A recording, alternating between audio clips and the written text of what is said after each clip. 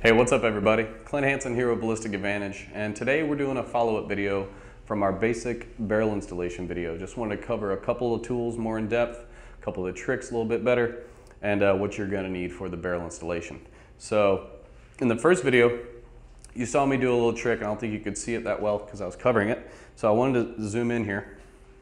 Um, so I take my roll pin starter punch. It's a 2S, and you can order it from Brownells. Uh, you're going to need this for your gas tube roll pin. Um, but I'd use it in a way for when I'm doing the uh, barrel nut. Once I've gotten it tightened to about the place I want to, I want to check and see where I'm at, make sure I'm straight. So I just stick it in the hole, if I can find it. Okay, and so now I'm simulated a gas tube. And it's just a quick check, easy way while you're tightening it up rather than having a rod or something sticking in there during the whole time. So nice little, quick little trick right there to use, okay?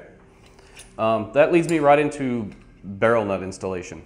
Um, in the video, we covered torquing it on without a torque wrench because I don't like the whole term 30 to 80 foot-pounds, which spec calls for, because 30 foot-pounds, in my opinion, just isn't enough.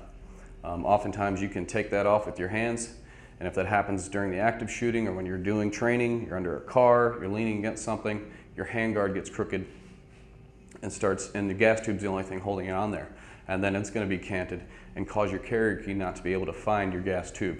So it's very important that thing gets lined up there straight as well as tight enough. So um, when you're tightening your barrel nut, I like to use a standard barrel nut wrench and this from Smith Enterprise and it's standard uh, wrench that I've been using for years and it works out really well. So you start out with the three points of contact here to get it on there and if you need to put a little bit more muscle, right on the back side here you have all these teeth, more points of contact and you're allowed to torque a little harder, okay?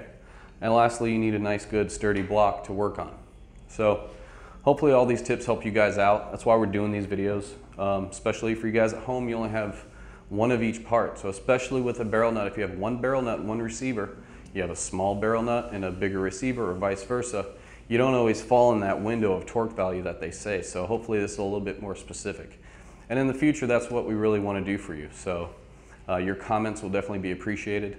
So we're, again, we're here to help. So hit us up on our Twitter, our Facebook, and our Instagram. Email us your questions. Let us know what you want to see. So thanks, guys.